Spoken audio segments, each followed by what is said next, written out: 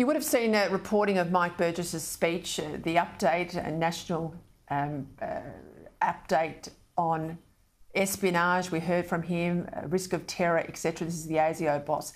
Interestingly, today, uh, Sarah Henderson, she's now the new Shadow Minister for Education, speaking at a universities conference, she's called on the Foreign Minister Penny Wong to use the powers under the Foreign Relations Act to ban these Confucius institutes in our universities. Uh, there's 12 of them around the country.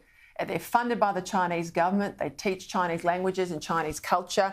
Uh, there is grave concern, you know that from your time as PM, about what their real purpose on campus is.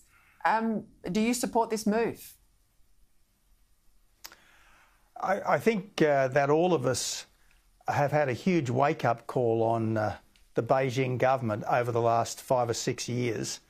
Uh, these institutes were set up back in the day when we were all reasonably optimistic about China and the West being on a converging path. Uh, China's economic liberalisation ultimately leading to a measure of political liberalisation. Uh, plainly, uh, uh, the doors have been slammed shut.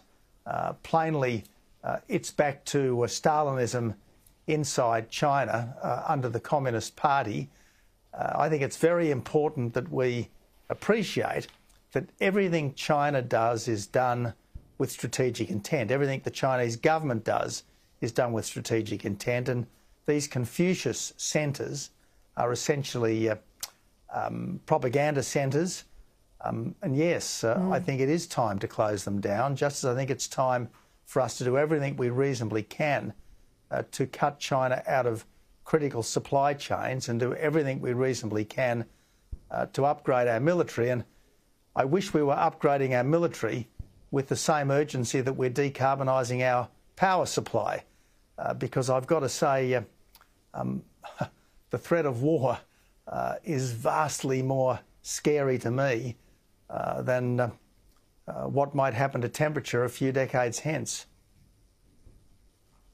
Boss, the old uh, activist will come after you with that comment. I have to leave it there, Tony Abbott. Thank you for your time.